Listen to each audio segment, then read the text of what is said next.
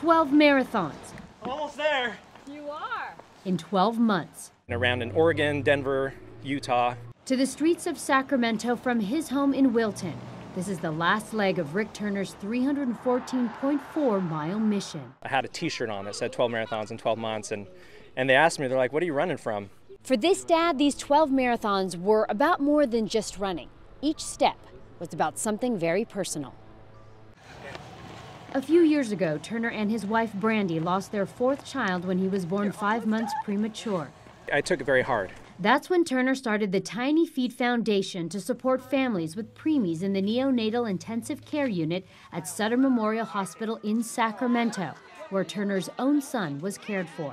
You know, you have families that are all coming down from Yuba City to be with their baby here in the NICU. Turner's father in law founded the NICU at Sutter 40 years ago.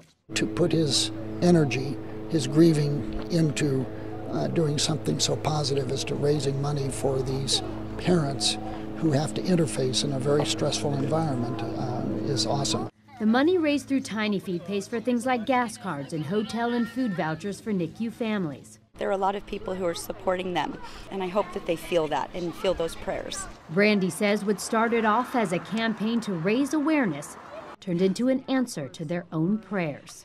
I wasn't expressing my emotions in a very healthy way. Yet, mile after mile, Thought after thought, it has been a very much a soul-searching experience. because when life takes you down a rough road, When things were getting tough, I would think about him and why I was doing this. sometimes you gotta just put one foot in front of the other. It's definitely a message of hope. I want my kids to never forget their brother. I'm very proud of my dad. In Sacramento, If you could say something to your son right now, what would it be? But Dad did it. May Fasad, KCRA 3 News.